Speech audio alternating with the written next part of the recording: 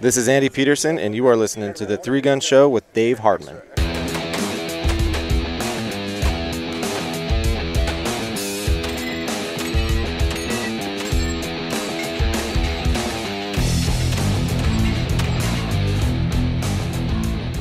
Welcome to the Three Gun Show, episode 66. I'm your host, Dave Hartman. This is a very special episode because I got permission from Ken Nelson and the instructors at the Tactical Performance Center's Multi Gun Boot Camp to share with you a classroom segment. You are going to hear Andy Peterson, Craig Outzen, and Brian Nelson cover the ins and outs of stage breakdown for Three Gun. Now, this is one hour from like a 35 hour class over three days, so we are by no means giving away all the secrets. If you like this podcast, you would definitely enjoy the full class, so consider checking it out. This episode is brought to you by MGM Targets, setting industry standards in quality and innovation for over 20 years. MGM Targets has grown to be the most well known brand of steel targets worldwide. The code DHMGM10 will save you 10% on your purchase. MGM Targets, leave nothing to chance. Now, MGM has also uh, generously put up one of their 10 inch sportsman's targets to give away to one lucky listener of the Three Gun Show for the month of March. For details on how to enter, go to threegunshow.com slash MGM. Links to everything we discuss in this episode can be found at threegunshow.com slash episode 66, or you can just tap the album art in your smartphone and it will take you right there. And now please enjoy the classroom lecture with, in order of appearance, Craig Outzen, Ken Nelson, Andy Peterson, and Brian Nelson. First off, um, how is everybody? Good. It looks like everybody woke up, got up, knew that it was daylight savings time, and we're awake. Definitely earlier. So if you guys were smart, you'd have been out here cleaning out Casey's RV because he would have never known.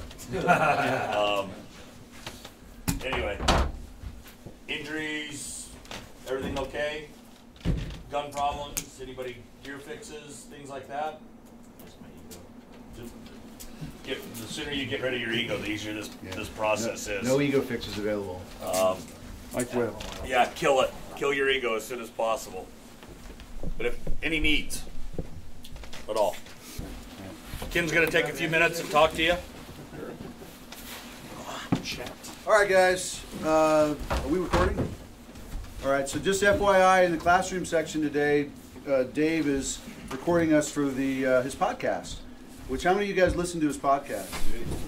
Yeah, some people are raising two hands.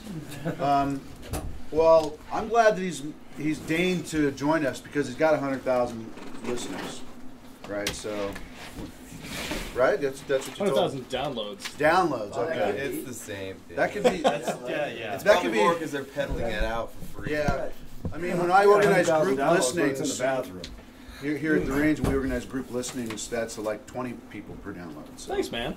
So, Appreciate that. um, so anyway, a couple reminders. One is uh, you are being recorded, so uh, family-friendly questions, um, and you know, feel free to compliment your instructors and particularly Dave.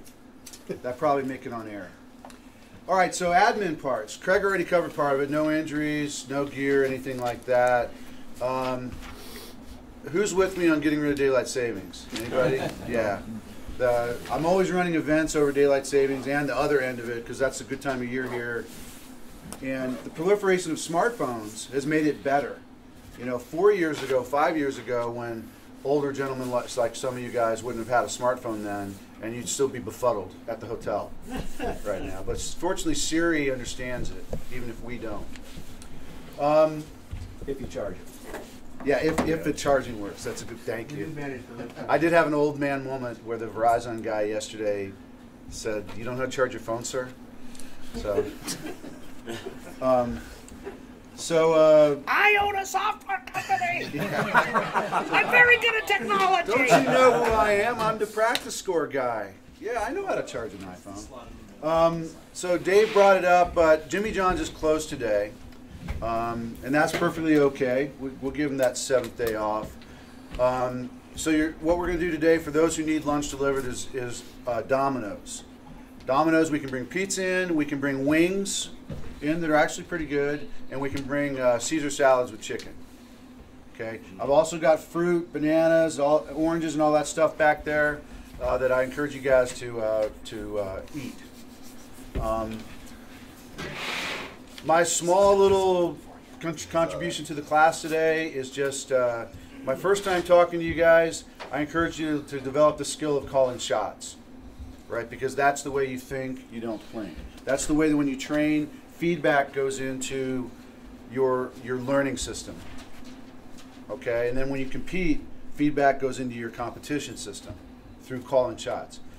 Today, I'm going to admonish you, maybe not admonish you, but encourage you to always have a purpose. Okay, I tell people in our, our other classes that I've not fired a shot as far, far back as I can remember that didn't have a purpose attached to it. Okay, everything that we do, everything Brian does when he's shooting his ammo, not other people. Other people's ammo is an entirely different matter. Okay, but if you're shooting your ammo using your time, then you should arrive at the range with a plan. Every shot should have a plan, a purpose, a plan, an execution, a feedback, an evaluation, and a decision about if you need to do something to improve it. You got to have this micro feedback loop. Okay, I'm talking about. Boom. Did that? Did, did, did I just see my sights kick off to the right? What's up with that? My sights haven't kicked off to the right in, in two years. You know, whatever. You got to think about it small like that. Have a purpose. Every shot has a purpose attached. Every shot has an evaluation attached. Okay? Um, that's the way you get better. Now, a lot of people have said, well, Brian's getting better because he got athletic and, you know, we hired a quarterback coach who taught him how to run. And I think that's important. But are you guys a little bit surprised at the level of detail that Andy, Brian, and Craig have thought about this game? Andy Right. especially. It's, Yeah. it's impossible to absorb it. Right. And so maybe maybe what they're doing is winning before they start. Right? Maybe because they've thought about their gun setup and set it up perfect, that they just gain a quarter second per presentation of the rifle. Maybe because their comb is right, they just gain before the timer ever started, before the match was even built, they just gained a half second, a quarter second over the field because of that thought. Now, do you have to be athletic to do that? Do you have to be a super genius to do that? No, you just have to want to do it. And that goes to purpose at a higher level. So every shot has a purpose, every training has a purpose, but also every life has a purpose.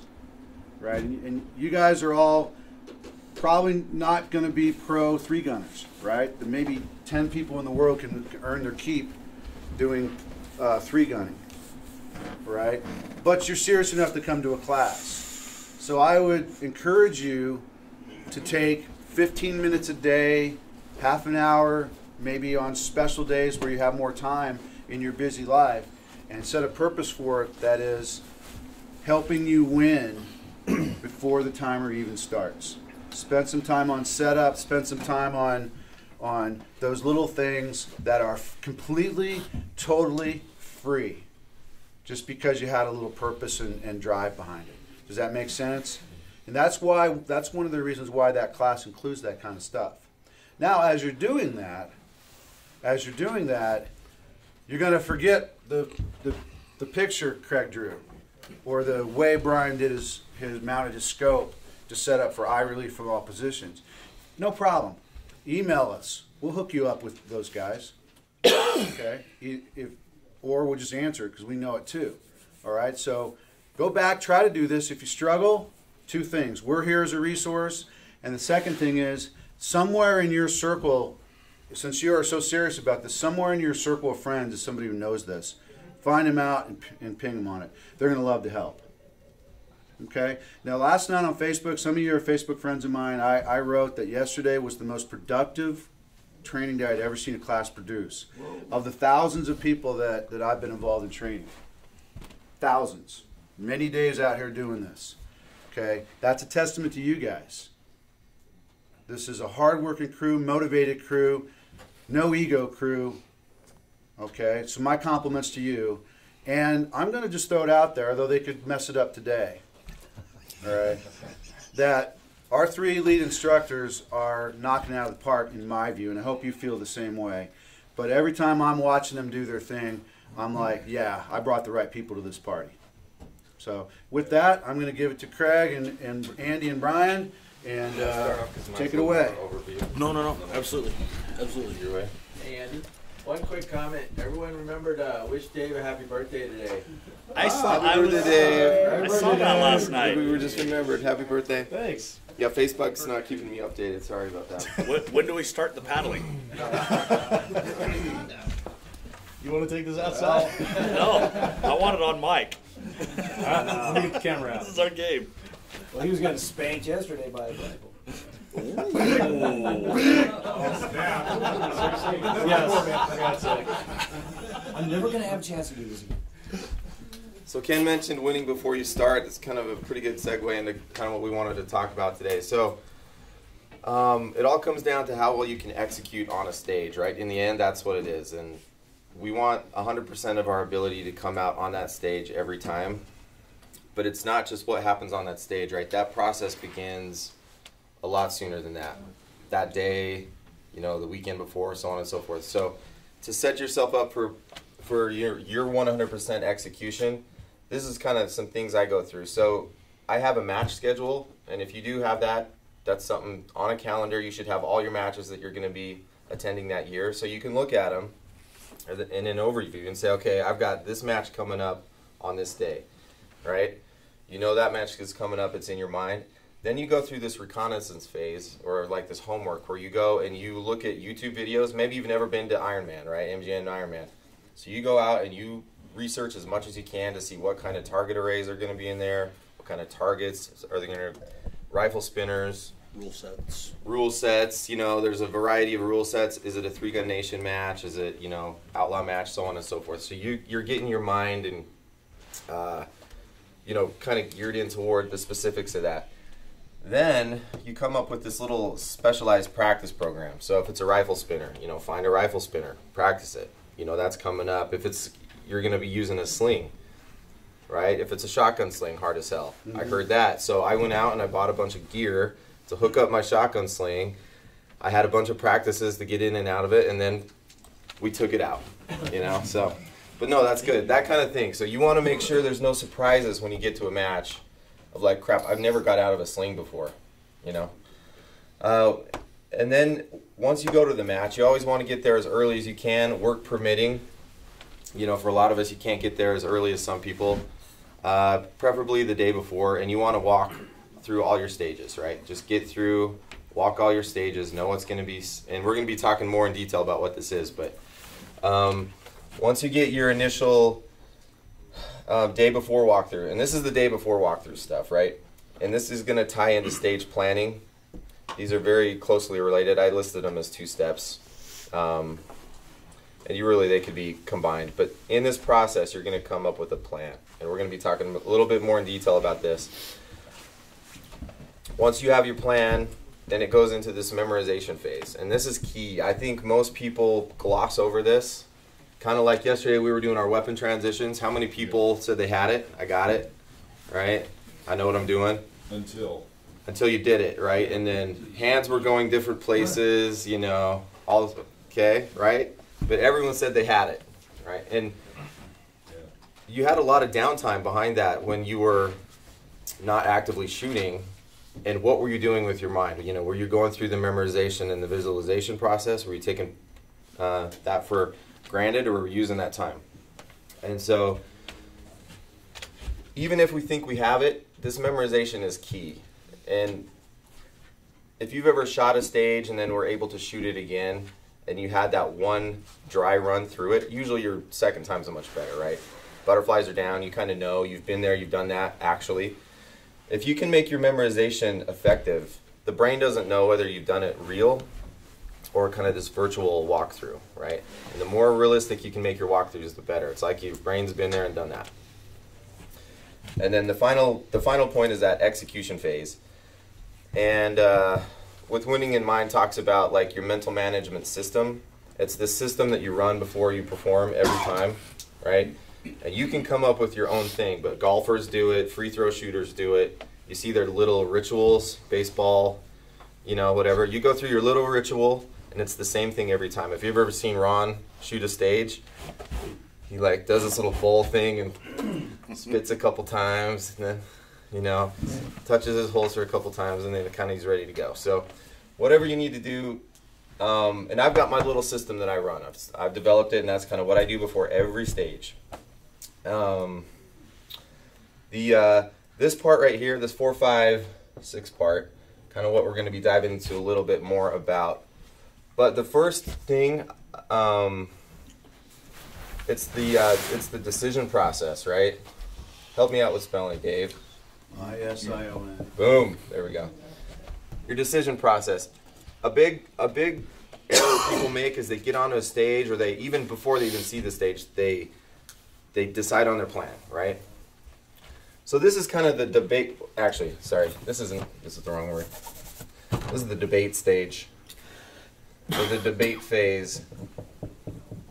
So you get together with some people and you talk about the different ways to shoot a stage. Keep it loose. Don't lock anything down because maybe you don't see a way that someone else sees. So it's this big del- deliberation process, okay? And who you trust and who your squad mates are, who you're walking stages with, this is a big part of success, right? So I try to get with people that are really good, higher level shooters than you. They're going to show you some things that you may not see. At some point, you need to make a decision right? And you decide what you're going to do on that stage. And at that point, that's yours. Debate's over. You know, what's the what's the phrase like a poor poor plan 100% executed is better than a perfect plan. And, and, and we'll talk that, yeah. Okay. So, so the old, I think it's an old Patton quote. It's been attributed to Patton, probably a couple different generals. Is is a ninety percent plan executed today with you know with violence and fury is ten times more effective than the perfect plan of administered next week. So you type of thing. You've weighed your options. You've made a choice. Just stick with it at this point. It's yours. You own it. And at this point, your goal is to execute that plan, not debate. We're not going back and debating anymore. You execute that plan at 100%. Right? So then you go into the memorization phase. and this is where you are going to lock that You're going to lock that plan in your subconscious just so it is like there's nothing that is going to go wrong. And I like to do video because my memory is not that great, and plus you got some time back at the hotel room later before the match starts the next day. So I will go through, you know, and I'll go point of view, like okay, shoot these two targets, reload. You know, I'll kind of talk through and just kind of get a little commentary. And so later in the hotel room, I can actually see what the stage is going to look like. I can review that over and over and over and over and over. Then I'll close my eyes and I'll see you know, I'll visualize myself running to this point, reloading right here, you know, doing these things, blah, blah, blah, blah, blah, blah, blah. And you go over that over and over until it's in your subconscious. And then the execution phase, this is where you actually get up to your stage. You know, and as you're resetting and as you're as you're watching your squad mates go, you don't really look at their plan, but as you're resetting, you're constantly reviewing, right? You finally step up and you go through your uh, your mental management system that you developed, that little pre ritual that you go through. What I like to do when he says shoot or make ready, that's kind of when mine starts. I run through all the targets one more time in my mind, right? I orient my body to where I need to go. Say it's like a pistol start. And then the last thing I'll do is I'll put my eyes where they need to go, put my hands down to my side. And as soon as that buzzer goes off, that's when that action phase starts. So, And- then at that point, When you're at the end of this thing. at that point, I'm not thinking, crap, what do I need to do, right? I just trust that I've got this subconscious locked in and it's just it's just action at that point. I'm not thinking. I'm just it's just that subconscious kind of be in the moment, watch myself shoot, not try to make myself shoot kind of thing. So, One thing that that he's taking for granted, but that I want to stress out of what the initial walkthrough. Uh, as a match director, designer, builder, I'm there from literally the day it goes on the ground through when we hand trophies. And there's an amazingly high correspondence with the people I'm handing trophies to that were there the day before on the walkthrough. Okay? I can't stress enough that when you do your match schedule, if you really want to do well, budget in um, as much time as you can on that initial walkthrough part. I, I rarely hand trophies to somebody who showed up, maybe even well prepared, but 10 minutes before the match started and, and is using the five minute walkthrough. That's, that's a sucker's game there. And and really, so this this point again, this execution point, a perfect execution, starts, you know, months in advance, right? When you know what your schedule's coming up and you're practicing and you're you're doing your research. So it's all building up to that one execution. Stacey? I just had a, a comment, um, you might be getting to it, but a lot of times when I, you know, I'm not in the super squad, so I end up squatting randomly with people that I may not know, and I don't know what skill level they're at. Not to say that, you know, I'm better than they are, they're not better than I am, or, or however it turns out. But, um, you know, a lot of times you may be squatted with different people of your ability, maybe same ability, but I always try to get, you know, during the shooting, obviously the day before, or if you can watch the RO shoot, if you could watch somebody shoot a stage before you get there, they may do something that you never thought of doing. So, and then getting back to the, the debate and decision, you know, your friends, like if I squatted with Craig and Craig goes, hey, let's shoot it this way, Craig is a much better shooter than I am. So there's points where you're like, that shot is too difficult for me, that drop turner is too fast for me, that, you know, mac trap is too fast for me, I'm gonna have to engage it, you know, in a different order, different sequence. So I may not be able to do the same thing that everybody else does or the top level guys do. So you have to figure out, this So- is the way to do it, but I wanted to add a couple things to Andy's deal, and I'm going to do them in reverse now that you brought this topic up, because that was kind of on the second deal. Um, so the second part of that is exactly, uh, you, you will see, if, if you guys get a chance to RO, RO. Um, and, and RO bigger matches, maybe a regional or, or a national level match that's away from you. Um, I, I can't tell you how much I learned by doing that uh, occasionally. I, I don't consider myself one of the traveling RO guys. I'm, I'm incredibly grateful for them. I was going to tell you that I have spots. But um, yeah, but you can learn a lot because you you'll see a squad come in, and it might be uh, guys who don't get a chance to shoot a lot, and they've only seen one way to shoot it. Maybe they watched a, a, a group of guys shoot it the day before as, as the ROs or staff is going through, and they saw one way to shoot it. And one guy, the first guy shoots the stage, and it may be a good or a bad stage plan. We're not making a commentary on that. But what you generally see is nine more guys shoot that same exact stage plan, right? Because this is hard. This is actually some work. It's um, it's a little bit more difficult, especially as our skill level is coming up, because we're we're kind of a little bit unsure of how to do that. This is where, and, and we'll talk a little bit more when we talk about stage planning. But this is where Andy Andy hit on it. You executing something simple that you know you can do very well will almost always trump the super fast, cool way that I'm not so sure that I can even do. All right. Most of this game, uh, pro matches. I, I haven't done the pros, uh, the pro series for a couple of years, but the pro matches got to the point where it was there were a lot of choices on a stage. There were four, five, and six ways to shoot a stage, and what it kind of taught everybody was, wow, the guy who wins is the guy who executed his plan well. There wasn't a perfect plan. There wasn't the absolute faster plan. There may have been a couple of plans that were better than a couple others, but it was the guy who, or it was a shooter who executed their plan as effectively as they could. So that executing a 98% plan 100% correctly is a 98%, right? Executing a 100% plan only 90% correctly is only a 90%. So I emphasize that to you as we talk about stage planning. Um, the other thing that I wanted to mention to Andy, schedule and recon phase. How many of you know how to fly with guns? Anybody? How many of you are kind of like, I kind of want to, but I haven't really done it a lot yet? Right? And you're like, oh God, what's going to happen? How do I pack? How do I set up my gear? How much? What's the weight limit? I don't know. What? 50 50? 11 pounds of ammo. How much? How much does it cost me if I go over 50? A lot, fifty. Not really. 100 25 bucks on Southwest, so I can go to 70. Is that worth it? Yeah. Right? So there's all these little things that we may not think of that help our shooting. Is my hotel nailed down? Is my rental car nailed down? Have I looked at an overhead map? Have I have I popped out on the maps and seen, you know, how many miles outside of town? If I've got the hot- if I'm staying at the Hilton Garden Inn in St. George, Do I know? Get a rough idea how long it takes me to get out to the range. So I know in the morning how early I need to leave, how early I need to leave to hit the gas station, buy ice, get a couple monsters in the cooler, all of those things. Those, it, it, I, I don't want to get pedantic and sound like I'm, you know, nitpicking. Those are crucial. Because if you get out to the range a half hour late, what, what happens all day? You're behind all day. Right?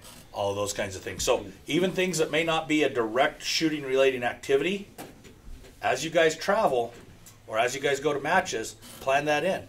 Even if it's your home match, have you got a little bit of a logistical plan for all of that backside stuff that needs to be in place? I find that at home or closer I am to home, I'm actually I'm actually worse than when I travel. So that's something to keep in mind as you're going through Andy's big season planning. Go ahead, Brian. In fact, getting a little bit more in depth, not too pedantic, but setting yourself up for success with that plan. When am I flying in? Am I flying in three hours before I need to shoot? Am I flying in at you know 2 a.m. shooting at 9 a.m.? Do I have enough time to actually get to my hotel and get some sleep and set myself up to win the next day? When I walk my stages, what gear do I need ready so that when I get there in the morning, I am ready. If I need to do my final walkthroughs, I'm not worried about jamming mags because I need to shoot in two minutes. Things like that. Think about not just how to get there, how to get there ready to win. I almost hate to follow that because that's that's gold, right? But one thing that I see on the actual walkthrough part that I think is really important. Um, I've never seen Mac. well, I've been on the stage with pretty much everybody that every world champion. I've seen the best in the world do this a lot. Um, when they walk stages, every part of that visualization part is about helping them win. So I'll see lower skilled shooters walk a stage, pop, pop, pop, pop, pop, pop, simulating recoil. What they're really doing is burning in, moving their hand when they shoot. Okay, Max Michel walks walk, walks the stage, and it's everything he's gonna do perfectly. He doesn't simulate recoil. He simulates what he needs to do. Okay, that's a really key point. I see so many people building in recoil anticipation in, in hundreds and hundreds of walkthroughs. And I'm an RO, and I can't correct it really. It's not my role at that point. But um, uh, after, I'll talk to them, and I'm talking to you now. But build in perfect stuff in your walkthroughs. Don't build in bad habits. It seems Sorry. almost goofy, but when I walk a stage, especially a pistol stage or when I'm shooting pistol, I'm not just pointing my hand there. I actually stick my thumb up and I'm focusing on my thumb, simulating a front sight. This is the focus I need on this target. This is actually what I need to see. This is how clear that can be. Looking at the target where I expect my hits to be. Yeah. Where am I going to shoot this? This is this is huge, by the way. I I discovered this. What I was doing when I was walking stages, I had my hands up, but I was looking at the targets. And so what I'm doing is I'm training my eyes subconsciously what they need to do, right? And so they were target focused the whole time. So I would come out and I was having a really hard time seeing my sights. because I, I walked it a thousand times and that's what I was doing. I was staring right at the thing. If you just take the time to come back and just get that front sight focus, not that maybe that hard focus, because focuses differ, but just the visual of coming off the target and having things clarify here. Now, what does that sight picture look like? Right? And now you're training your eyes. Your eyes are actually going through a focus walkthrough of what exactly they're going to do, like focus wise, on each target. Hard focus here, soft focus, so on and so forth. Sight picture thumbnail stickers. Yeah. Oh, oh, oh we had that. I already had it. Sold off eBay. I thought that was just like, The whole point of it is that all of your shaft of your arrow, everything you're doing prior is lining up towards your best performance.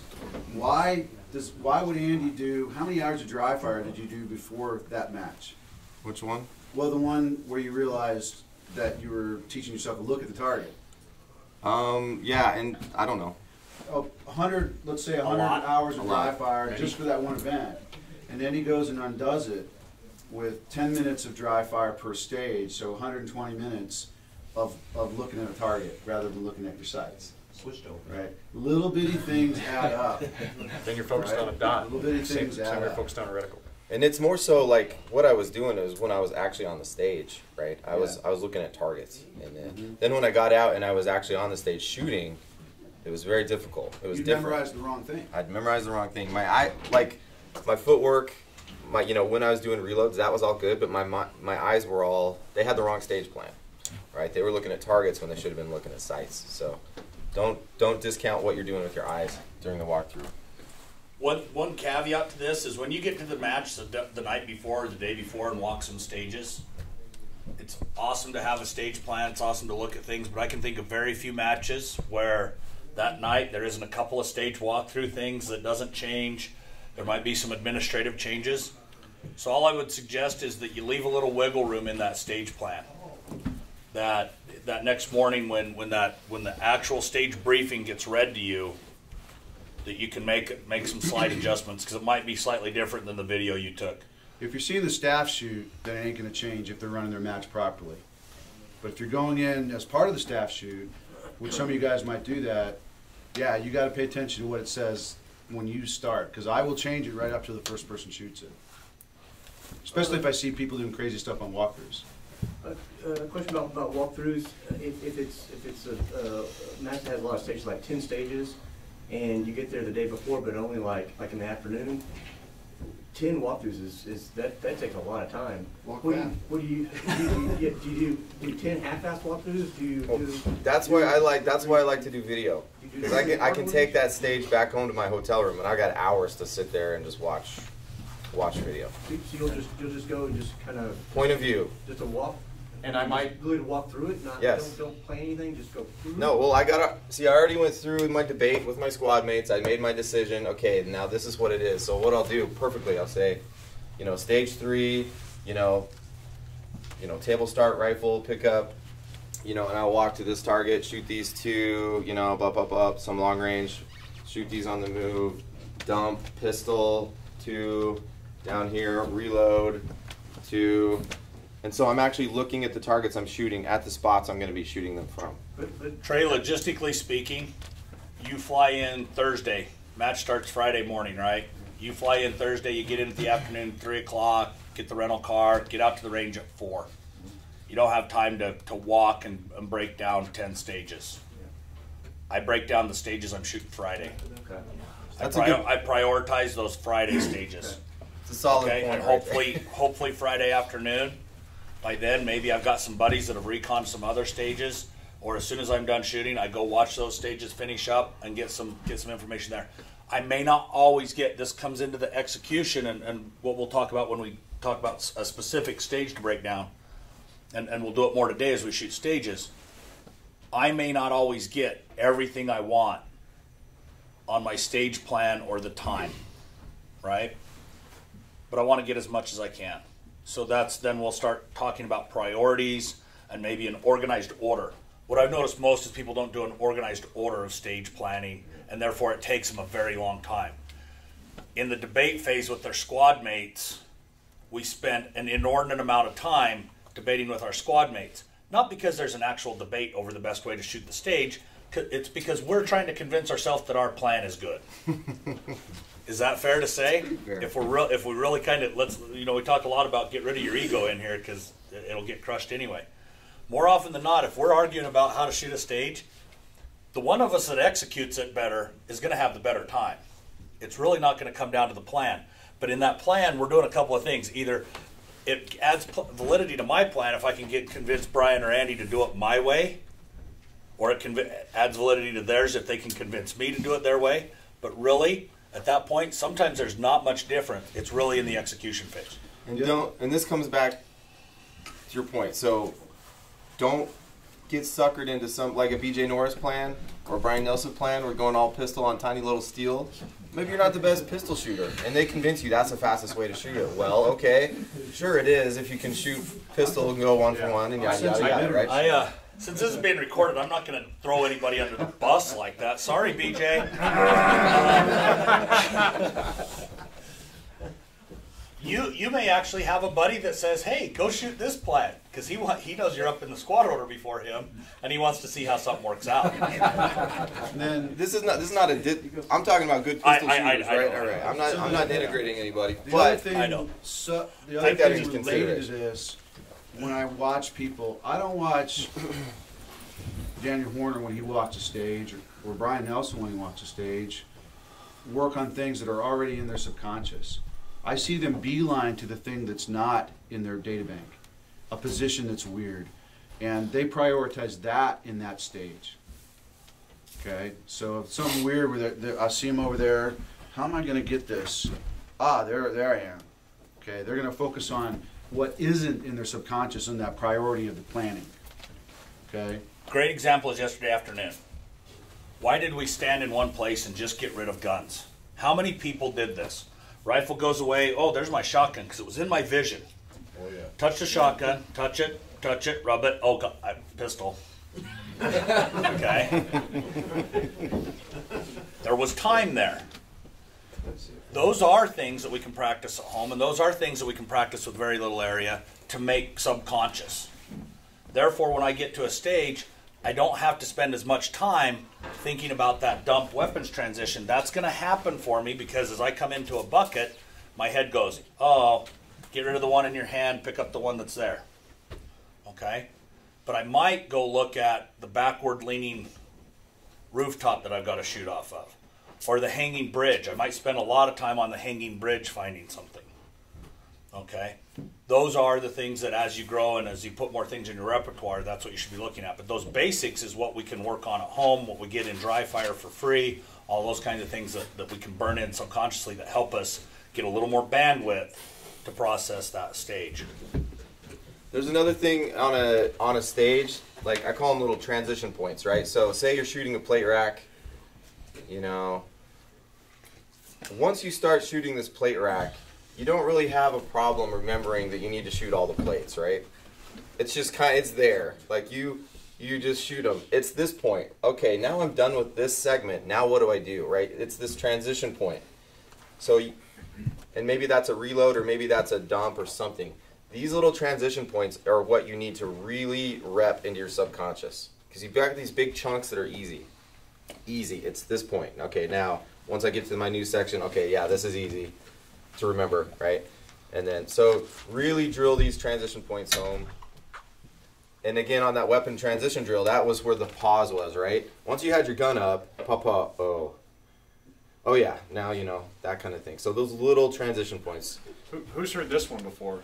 Man, I did so good on that plate rack, I just forgot what I was doing.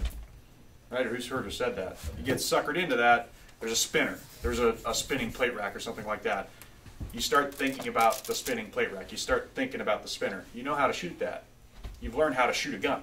You know how to shoot a gun. Now we're getting into conscious mind. We're working our plan, working our stage, rather than working our targets. and say it's a reload. So I'm going. This is my trigger, right? There's gonna there's an action which is a reload, and that last plate triggers a reload, right? So I'm gonna be as I'm walking through, right as that last plate goes, ding, you know, I really hammer home that what triggers the action kind of thing, those little transition points. So really drill those home. You good to go to actual stage planning? Yeah, I think we're ready. A little deeper dive. So when we actually do an actual stage plan, one of the things that I've noticed with a lot of people is their mistake isn't that they don't know what has to be done. They know what work product needs to result out of their stage plan, but they don't really have a systematic way that they go about doing it. This isn't the only way to do it. We, these are just bullet points that these are things you should hit. I've tried to kind of put them in a in a logical priority from first to last but you can obviously switch things. Maybe the match will dictate that it switches a little bit. But assuming that you that you've read a stage description or a stage brief that's accurate, okay? X number of targets, rifle, pistol, shotgun, blah blah blah, and the stage plan. One of the first things that I do, and I've been burned by this, and I can tell you the match, I can tell you the date, I can actually walk to the bay it was in and show you probably the nail the nail posts for the target that I left. I watched my squad mates over and over and over again do this stupid hinky step in the middle of a stage. And I kept thinking, they're idiots. Because I'm going right past there. The transition is from here to here. I made my stage plan. I burned down the stage, and I get the uh, if you are finished, unload and show clear. And I'm like, there's a target back there between those two green walls, isn't there? RO's like, yep. And that was exactly where everybody was doing this kind of jinky hitch step. I didn't identify all the targets. Sometimes that requires that instead of you getting to the, the stage and walking like a sheep where everybody else is walking, that you walk out behind the walls. Count the paper targets. If the stage brief said 11 and you can only find 10, Ken, Crisis mode. where's the 10, where's the 11th target? Where did you hide it? Right? I want to find all of my targets. So identify all the targets. Do you spend much time with the written descriptions? Are they? I, I want to read the written description because the written description generally doesn't change a whole lot, and that gives me some concrete information. I'm an either or guy on the pictorial descriptions. There's there's great matches. Um, there's guys that have a lot of time and, and they've got the Google SketchUp and the fly-in plan and everything looks great. And then there's some Crayola drawings of the stage. Um, sometimes depending on the on the match, it's very hard to put a match on the ground, say like Rocky Mountain Three Gun, that's in natural terrain and targets out to four and five hundred yards. It's really hard to fit that on an eight and a half by eleven sheet of paper. They look Right. Easy. When you look on paper, you're like, man, that's not that hard. This isn't that big a deal. Yeah. We, we've actually stopped generating them. They, they're too much work for too little value and a lot of hassle because then I'm always answering questions about why is it different? Internet, the, the Facebook internet eruption over what target is this and why is it there? Or you had 13 targets on the drawing and you only actually put 12 on the stage and everybody's griping at you about, oh, the stage brief was wrong. Like, so I just don't do them anymore. I mean, we keep, we do them for helping us design matches, but we don't publish them. Yeah. The only real benefit to publishing them is sponsor benefit. So at a major match, I will do that because it'll get eyeballs to a sponsor's ad. But other than that, I'm not gonna do it. So I, I probably don't put as much value on that, just like Ken said, I don't put much value on that picture because more often than not, one, it's not an accurate representation of what the stage even appears like, and two, um, oftentimes it's a little bit different when it actually when that stage actually gets on the ground. The wall that was supposed to be here can't be put up because oh we went to pound stakes in, and we've got a rock house this far under the dirt, so we had to move, whatever. Um, the written stage brief I do try to pay attention to, but I identify all the targets. I get a count. I know how many targets are there. All right. That lets me get an inventory idea of what I need for that stage. That lets me know do I need my long range rifle ammo? Do I need my, you know, or is it 55 blaster stuff? Do I need shotgun shot or, or shotgun shot and slugs or just bird shot? Um, do I need a sling? You know, how many magazines am I going to need? Am I going to have to put, you know, if it's a really rifle heavy stage, am I going to have to put that extra rifle mag pouch that I keep in my bag actually on my belt now and, and pack two rifle mags with me? Those types of things. That inventory and all of the target types is the first thing I do because that's getting my logistics ready, right? Once my logistics is in place, then I identify the major gun transitions. Maybe you know that's Andy's transition point or his his key thing. Where where might I be changing from one mode to another? Those are the first things I identify in that stage. Real quick on that, um, say it's a pistol stage, right? And you need to do one reload. Where do you do that reload? Because you could do it multiple places, but what I usually try to do is if it's like a, I don't know, 30 round stage, you could go like 18 and 12, or you can go 15 and 15, right? So you find that balance point where it gives you the most, and usually they're set up that way, right? Matches are set up that way, so it's kind of like a balanced reload. Yeah, multi-gun match, uh, I don't worry too much about it.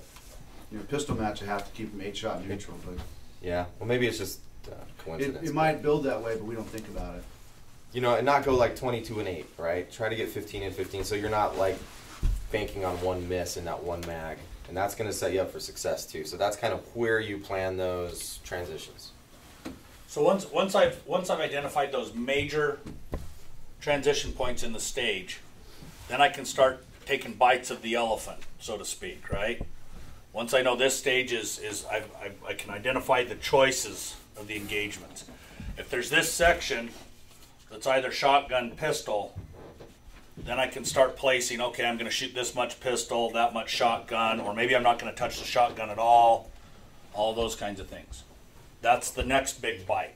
Now I've got my, my, my targets, I've got my inventory of gear that I need, and I've made my major decisions of what, what weapons I'm going to engage the stage with based on the, on the choices offered.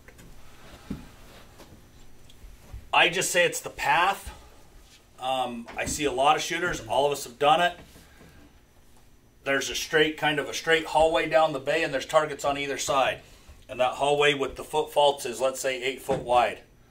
And we see somebody start in the middle and they walk four feet to the foot fault they shoot a couple targets and they whack, walk back eight feet to the other foot fault and shoot a couple targets. That two feet never really gained them anything. So i try to identify a straight path from the start position to the end position of the stage and kind of visualize a straight line on that and then what I do is, is the path that I'm going to walk or the path that I'm going to travel, I try to deviate as little as possible to make use of that shooting opening or port. Okay? So just trying to economize the motion that I'm, I'm moving on the stage is that purpose.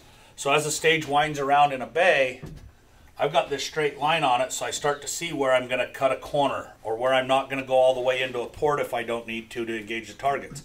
If I can engage all the targets through a port, and it's only a two by two window, but I can stay six feet back from it and shoot them and not have to walk that six feet. It's pretty good time savings. Okay, actually walk that 12 feet back, you know, forward and back. So I identify the straightest path that I can take or the most efficient path I can take. Now that I've identified that path, I can start working on what's the actual execution part of it and start burning that execution part in. And then we get into Andy's memorization and the visualization of what I'm going to do. All right? But this just gives you some points to like put down. If you can hit on all of these, you're going to have a pretty good idea. And you have a systematic way to kind of, okay, I've got that, check. I've got that, check.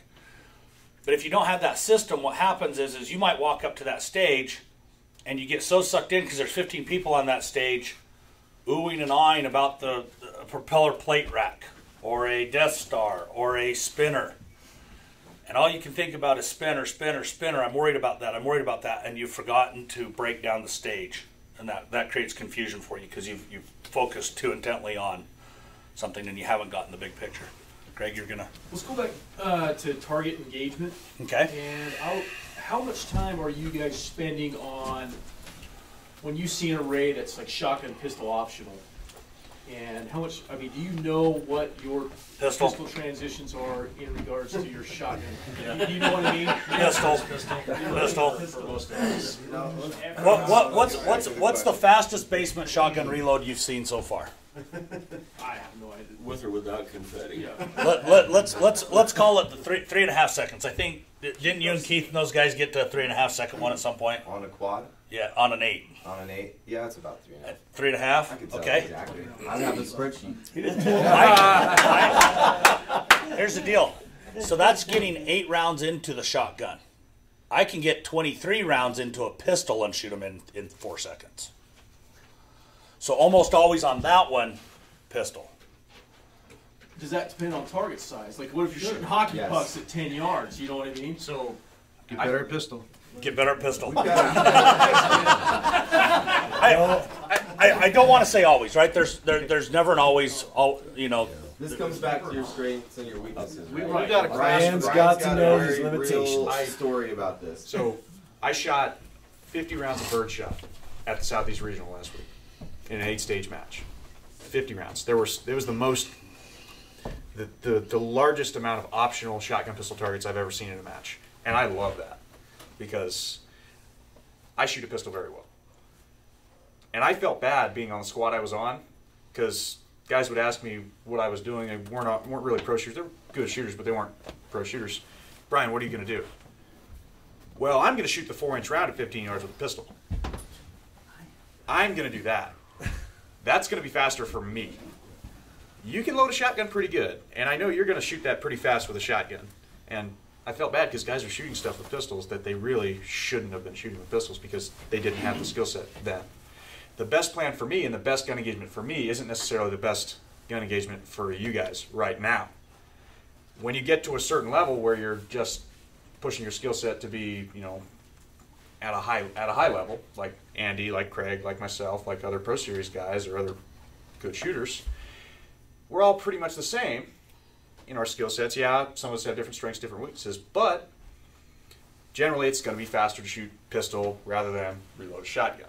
And that's kind of what we figured out. I think Craig has a pretty good story about Jerry Miculek at a Pro Series match. It was it was the first season of the Pro Series, and, and it was all kind of all of us learned this from this one stage. It was one of the split Pro Series matches that you've seen where we would now hot reholster. You couldn't hot reholster at the time, so everybody's kind of like, okay, what are you going to do? And so everybody kind of elected to, to shoot the rifle, go over here, shoot shoot eight out of the shot. You can shoot eight out of the shotgun, and then shoot everything else pistol. And it was a lot of those little four by ten son of a bitches. Sorry, those ones. Beep. Beep. Do this. Um, and we are all like, ah, man. And it was just that distance where you're kind of like, "Ooh, things go wrong. It's going to be ugly with the pistol. So a good majority of us chose to, to reload the shotgun, and everybody's starting to quad load pretty fast, so we're pretty proud of that. So we're going to reload the shotgun. And we shot it, and there was, you know, there were some pretty good times, and guys had laid some stuff down. Jerry decided to shoot it with pistol, and everybody kind of kept going like, "Ah, I don't know, Jerry. You know, we know you can shoot a pistol, but. And Jerry stepped up and wrecked. I, I don't know. I, Jerry wasn't happy with his pistol performance, and he whipped us all by like a second and a half. So the pistol did not go well for him. He actually had like a slide lock reload within the array, and still put time on everybody. So that was the that was the first light bulb where everybody's kind of like, "Oh oh, you have to shoot it with pistol." That comes into a decision point for you guys. It's a bonus target at MGM, right? It's only a bonus target until the first guy hits it. Right. After the first guy shoots it and hits it, it's not a bonus target It's your anymore. penalty. You have to hit it. So if you decide that you're in the game to, to achieve that level of success, then I would say almost always with shotgun pistol, the, the, the mindset should be let's look at the pistol pretty hard. So, do you guys have any recommendation where you could go to develop world class pistol skills? There's this place called Front I heard this guy. Oh. if, if you're looking, if you're looking for a, co- if you're looking, and that's recorded. If, if you're looking, get that on tape. Yeah. Do I have to buy a condo if I go there? Oh, Yeah. if you're looking for a new religion and to hang out with Tom Cruise, that, that cut deep. Chris. Coming into this, right, I'm new to it. I, uh, I knew my weakest link by far was pistol, and I came down to uh, Ken Ron Avery's boot camp here at TPC, and that, that, that, that gave me the skill set to come in a lot more, with a lot more confidence uh, in the three gun, because I think it- I'm not alone. Everyone here probably needs to work on the pistol a little bit. That's how you, that's how you plug a center right there. Boom. Thank, thank you, Chris.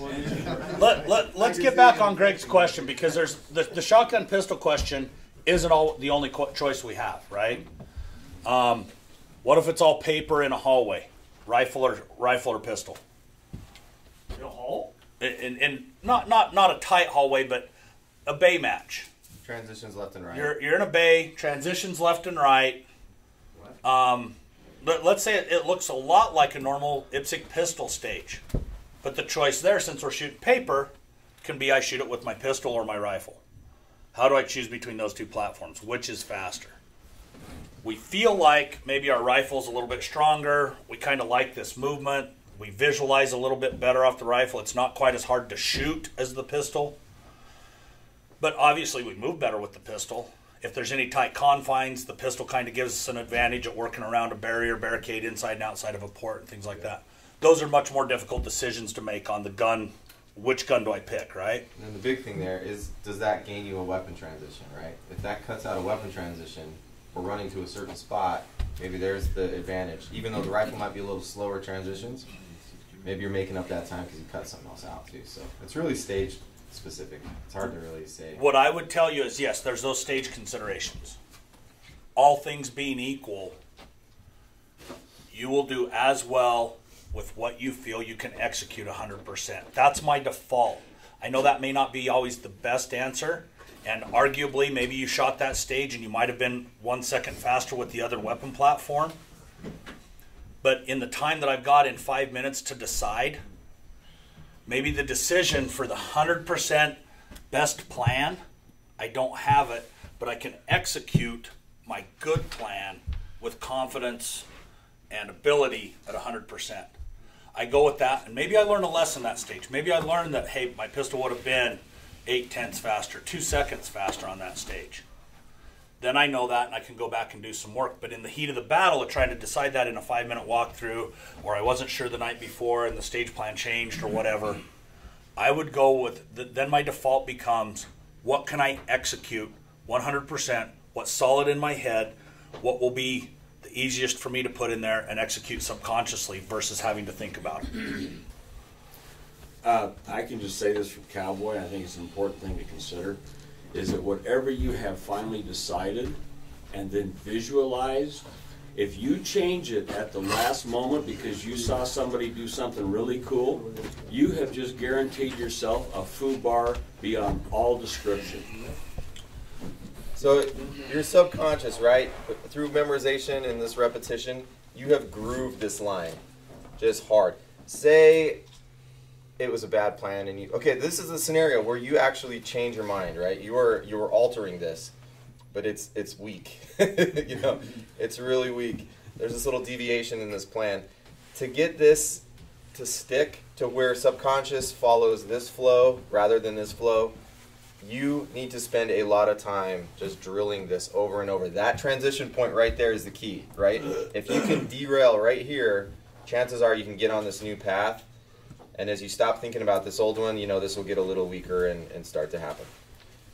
But nine times out of ten, we think we have it, but no, this sucker is so ingrained, it's just like, I. I, I can tell you how catastrophic that can be. From last year Oh, yeah. Nationals, stage eight, everybody remembers the long range, it was windy and nasty.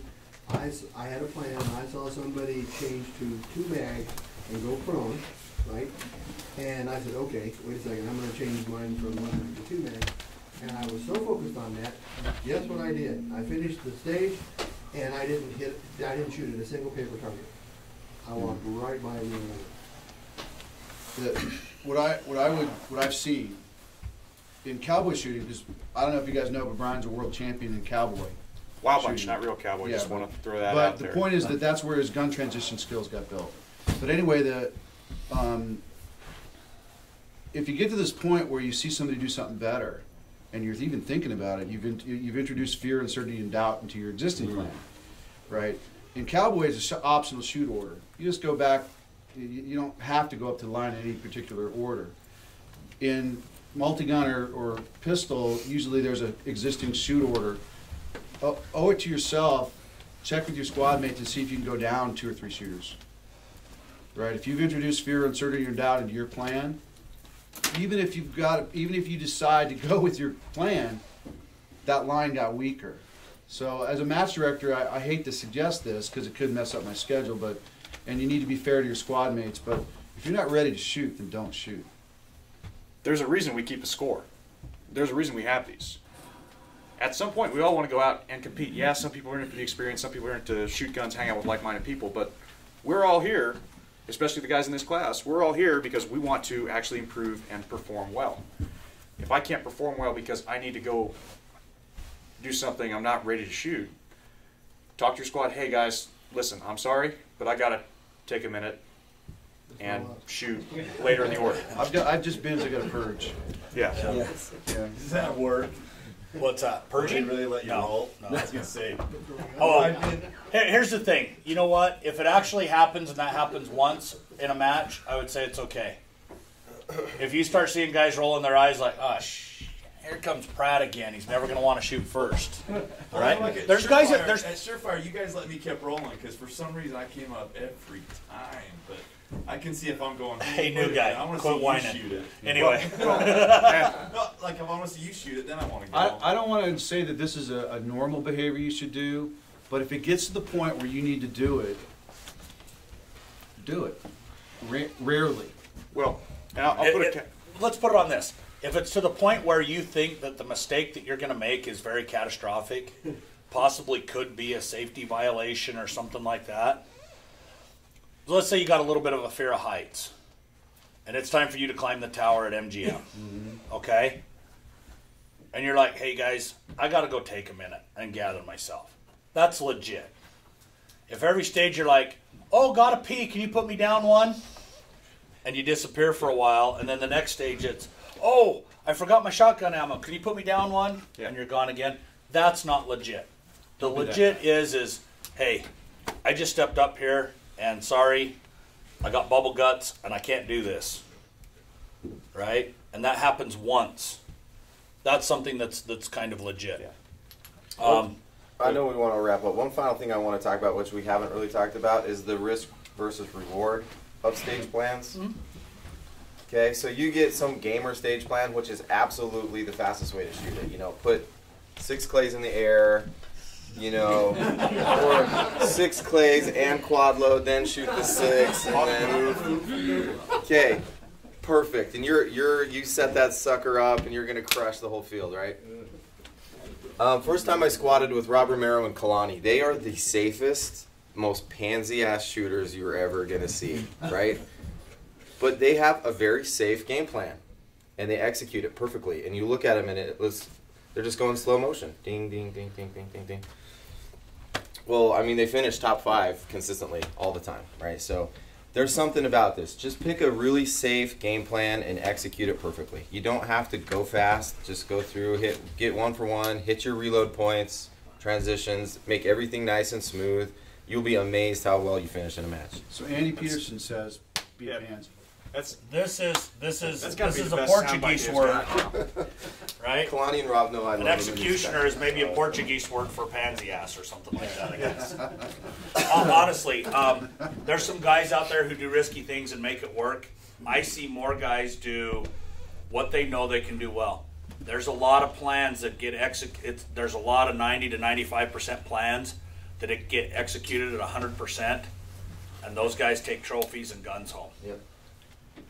If I could speak personally on this particular topic, the difference between Brian Nelson a year ago, finishing, winning half the stages and still losing the match, and Brian Nelson the last six months where he's pretty much winning, is the risk reward decision. He's got that ratio right. Dialing it back. Right, dialing it back. You good train on the tracks. Beat, beat, beat, beat you by eight seconds, not ten. Right? Every time. That, he's, he's made that transition mentally. Um, and it wasn't because I made him clean the basement. So, but anyway, that's, that's key. Yeah, it is. And that's kind of a maturity thing too. Kalani and Rob are big, mature shooters. It surprised me because I'm looking up to these guys. I'm thinking they're going to come up with some gnarly plans, and the things I was suggesting, they're like, dude, no, don't, no, And- and stop. Why are you doing Just that? stop. Don't. You're not going to win the stage, and they don't. They don't try to do stage wins. That goal is not to do a stage win. Their goal is to take like a top three, top five on every Hey, stage. If, if, if you're top five, if, if you can go to a stage with or a match with eight stages, and you just shoot a top five score on all eight stages, what what do, what do the numbers say, Ken? How many guys Oh, in that time. win the Well- match? well, They- they you might have a stage win or two, but if you have if you have an 18th place stage finish, I can guarantee you one thing: you're not winning the match. If you take Horner out of the equation, because he goes out and wins every stage at his 90, 95% number. If you take that out of the picture, then the guy who's doing top, you know, top five. And you can take Brian in Florida, right? I mean, how many stage wins? Uh, oh, come on. You know, don't play. So, He's got a spreadsheet. you know, and, and the ones you didn't win, you were right there, right? If I'm taking five on every one, I'm not going to win that match, right? Brian had an exceptional match that in Florida, so it'd be really hard to But- beat him.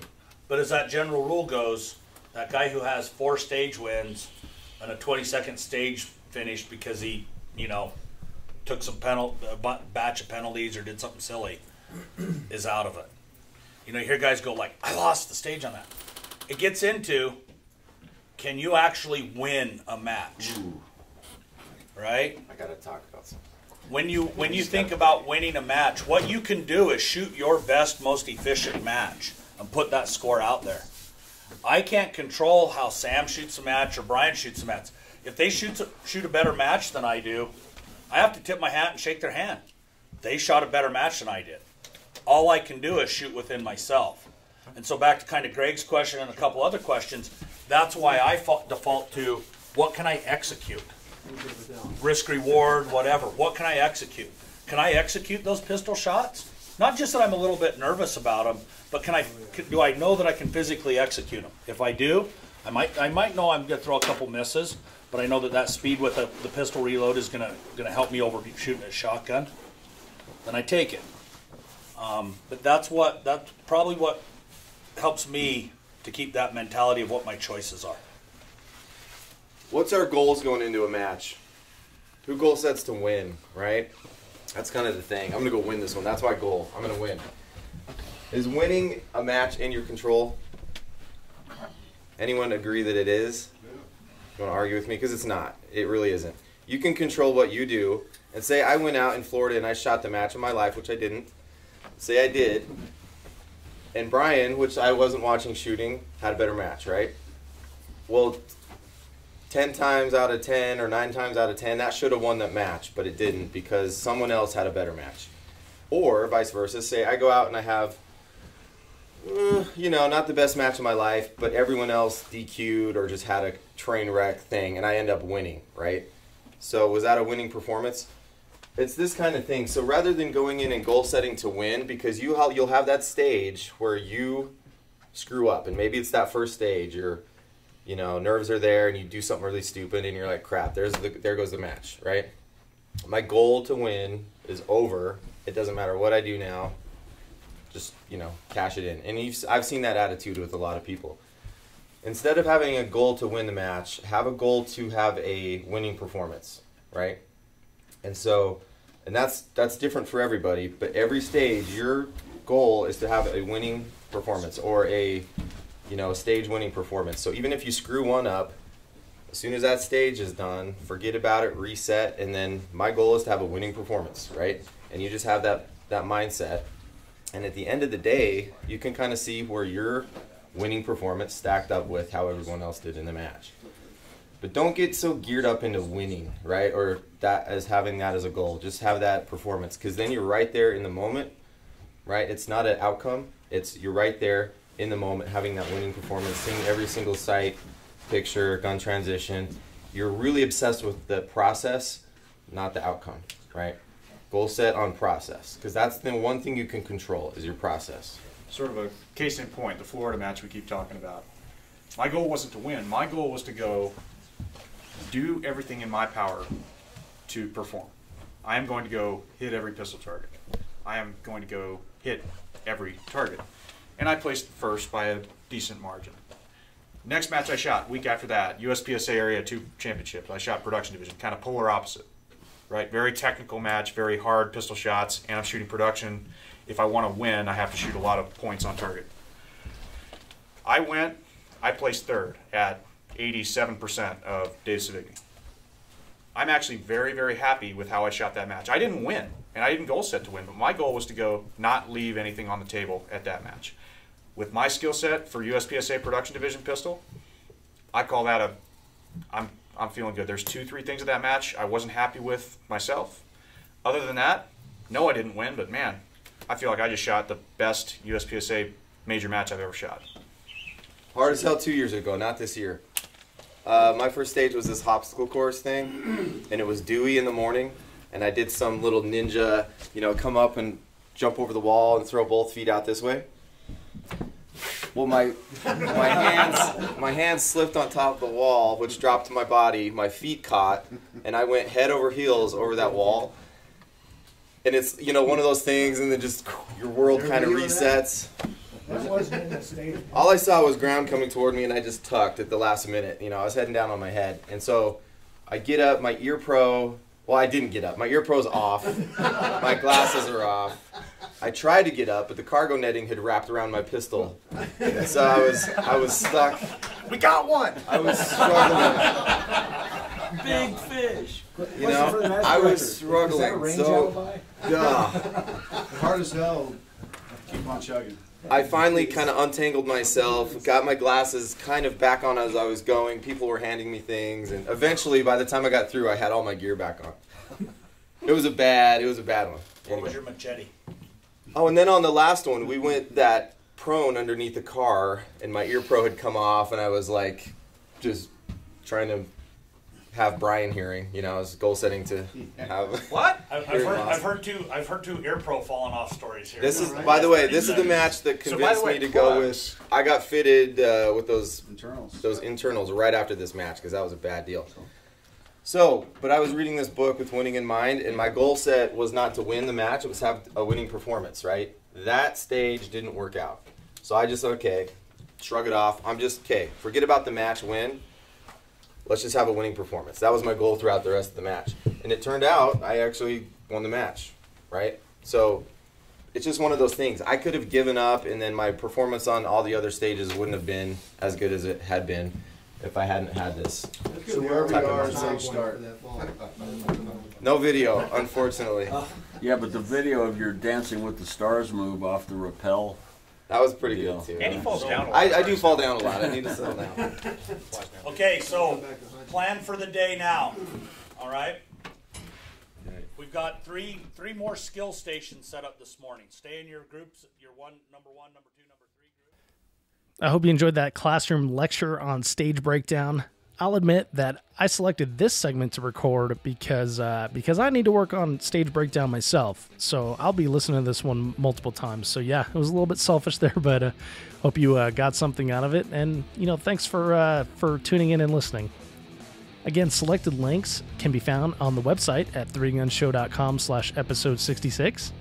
And uh, don't forget to sign up for the March giveaway. MGM Targets, again, is putting up one of their 10 inch sportsman's targets to give away to one lucky listener of the Three Gun Show for the month of March. For details on how to enter, go to 3gunshow.com slash MGM. Thank you so much for downloading, listening, and subscribing to the show. I'll catch you in the next episode.